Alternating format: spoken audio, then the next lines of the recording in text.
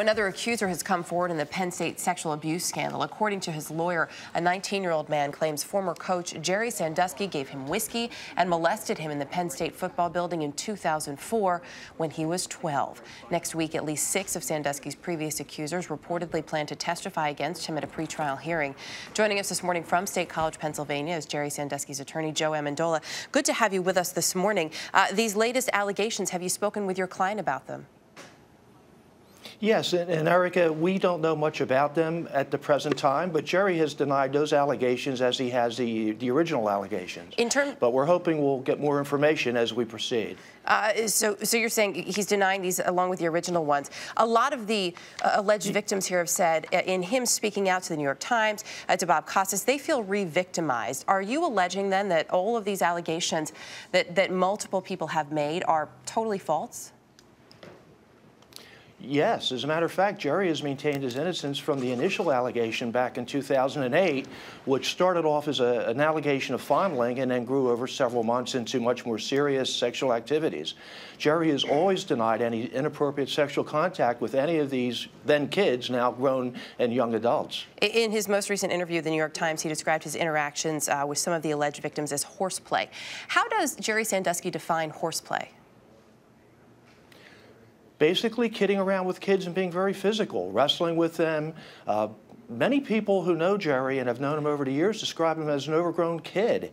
And when you when you really talk to people who know Jerry and you look at some of the old films of Jerry interacting with kids, you really get that impression.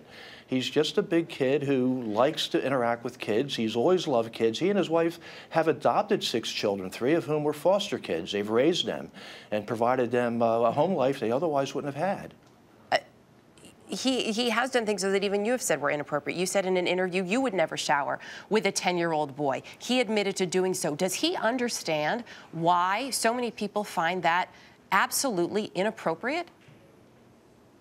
A lot of people find that inappropriate, but, but it's not criminal to, to, get a shower. In fact, I think the way Jerry has described it, the kids with whom he showered, Erica, were basically like his own kids. He treated them like his own kids.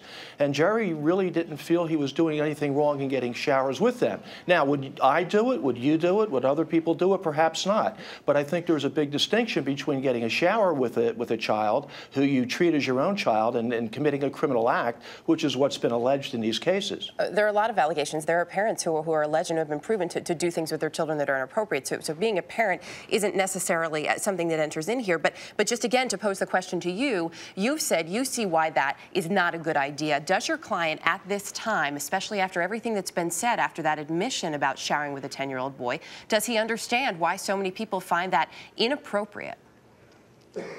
Oh, I, th I think he understands that people, a lot of people may, may think that's inappropriate, Erica. But again, that's not a criminal act in and of itself. In order to, in order to, to, to establish a criminal act, you have to show some sort of criminal intent mm -hmm. in mm-hmm. regard to these charges. It's in the intent to obtain some sort of sexual gratification, and Jerry has adamantly denied that. Uh, you've said too, and, and, and you just said in this interview, that you believe all of these allegations are in fact false. What about these eyewitness accounts? Do you believe those were made up as well?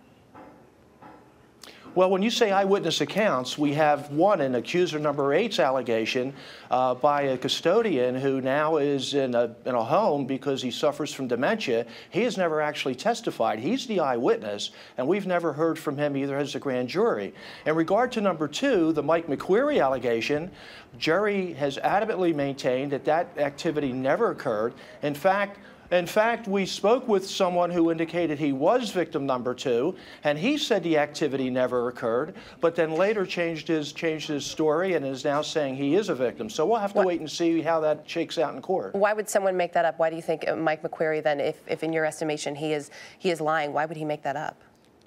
Well, well, well, in order, in order, in order to believe Mike McQueary, you would have to believe he told, he told Tim Curley, Gary Schultz, and Joe Paterno that he observed Jerry Sandusky having anal sex with a young child in a shower at Penn State, and they did nothing about it. Now, I know those three men. They're not my friends, but I know them. They're reputable, very conservative people. I don't believe for a second that they were told that type of information and did nothing about it other than tell Jerry Sandusky simply Joe, don't shower with kids in the Penn State shower rooms anymore. That makes Joe, no sense, Erica. Joe Amendola, we're going to have to lose it there. The satellite will cut you off. Joe, thanks for your time.